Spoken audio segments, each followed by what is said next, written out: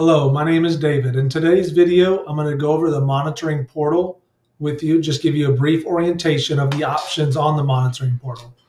The CHeKT monitoring portal is very intuitive and will allow an operator to have video verification of an alarm event. But there's also some options on here that are important for you to understand. So currently I'm looking at the monitoring portal of an account that has not received any alarm events. So just to kind of give you some familiarity, in the center of the screen is the local time and the account information. Above that are all the cameras on site. I can simply scroll through these cameras by using the scroll wheel on my mouse. I can click to move through the cameras. Or as you can see beneath here is a site map. And this is set up by the installing company. And they place these cameras on a site map. And as the operator, you can just click these cameras to quickly move through property, giving you great situational awareness of that property. Now, some other information on a camera that you can see above that camera is the time and the zone number. Next to that, it says online. That simply means that this camera is currently online and there's no trouble conditions associated with this camera. If it were to say offline, that means there's something wrong. The camera is not viewable. It needs to be serviced. The zone number is very important. When your alarm panel goes into alarm and it's the motion detector on zone four, this will be the camera that the operator is presented with to, for the video verification. The name right here underneath the, that information, that's again just information entered in by the installing company.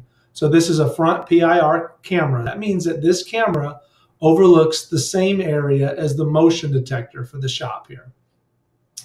Up here in the top right hand corner, an operator has the ability to zoom out, giving them more cameras that they can see at one time, or zoom in, giving them larger screens.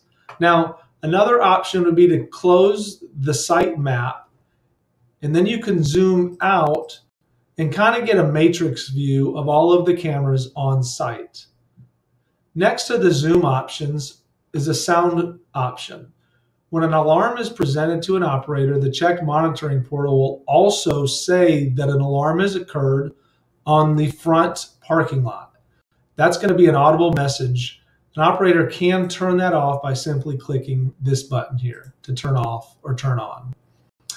On the far right are all the alarm events. Now, currently there aren't any events to be displayed. This is an account that the alarm panel is disarmed and no alarm events are going to be presented to the monitoring portal. But this would be where you'd see alarm events.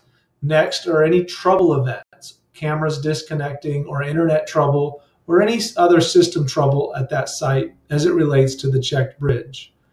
Next is the arming. This would be any arming or disarmings on that bridge. And then lastly, you have a verified tab.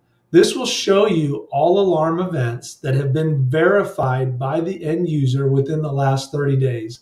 This can be very helpful in reviewing previous alarms. Um, but I was, as I show you this alarm events tab, to remove that from the side screen, you just simply click and you can have, again, you can have a view of all cameras giving you excellent situational awareness on a property. And to represent that, just simply click the events button. Now to present the site map again, just click here and that site map will come back up.